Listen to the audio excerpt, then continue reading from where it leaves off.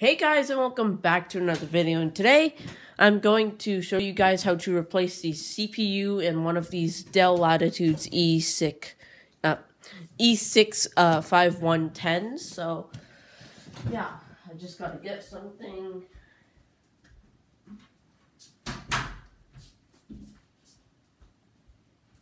Alright I'm back. So yeah let's just get straight into it uh, this laptop doesn't turn on. It only turned on once, and that took a lot of trial and error, and I accidentally unplugged it while unplugging a VGA cable. Uh, you know, because I tried to connect it to a monitor to see if I could get some, you know, video output out of it, but hasn't turned on since, and I'm not sure, but there might be corrosion in the port, so probably has water damage. So, anyways, just get uh, straight into this. Crack on the battery. I've seen that before. Um, but yeah, so we can just unscrew this screw right here and it doesn't come out so you can just pull this cover out.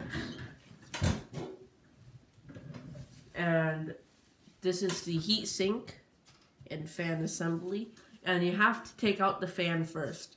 So you don't have to necessarily unplug it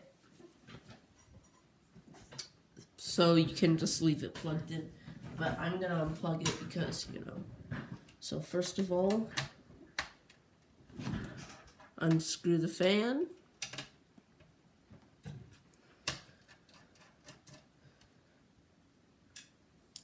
And can remove it or take it out.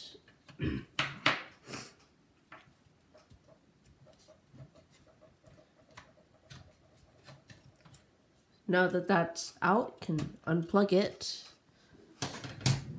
Can just get straight to removing the heatsink. Now this is the GPU and this is the CPU right here, which you can see is socketed, so that's probably why I'm making this video.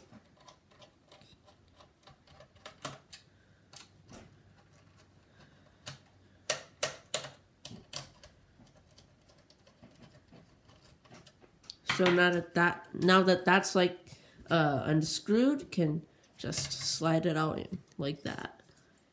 And there we go. And I'm not going to replace the thermal paste on this because, you know, it doesn't work when I plug. And it does show signs of life when plugged in, but only the CPU, the CPU gets really hot really fast. Or pretty fast, you know, can feel the heat right away. And, um, yeah. So it doesn't work something shorting definitely because, you know, why would it get extremely hot in one area randomly? So now can remove uh, this, you know, just turn it counterclockwise like this. And once that's like that, can just remove CPU.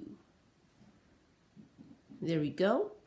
And I believe you can upgrade this to a Core i7. I'm not sure if you can upgrade it or, you know, to Core i9. I doubt that, but yeah, it's our CPU. And now we can just put the CPU back into the slot. This is an Intel i5. Turn it clockwise to keep it in there. And yeah. And of course mine doesn't work, so I'm not going to do anything. So yeah. But if you have a working model, then you probably should upgrade it if you want to.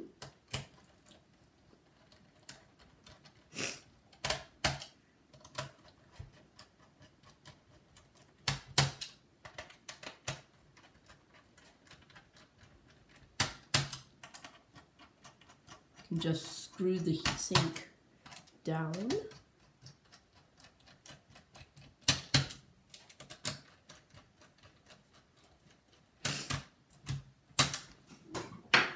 Now that that's done, can just slot the fan back into place, connect, connecting its connector.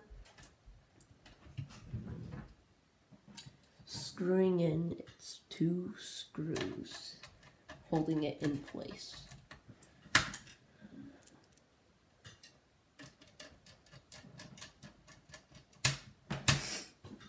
So now that that's done, we can just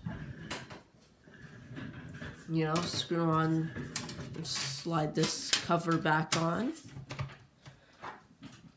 screwing it into place.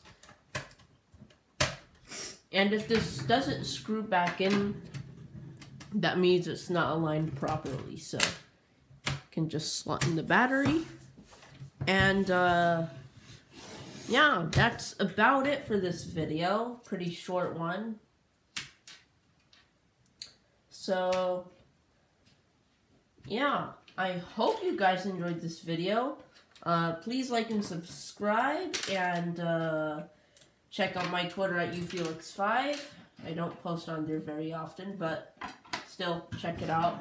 And, uh, yeah, I'll see you guys next time. Bye.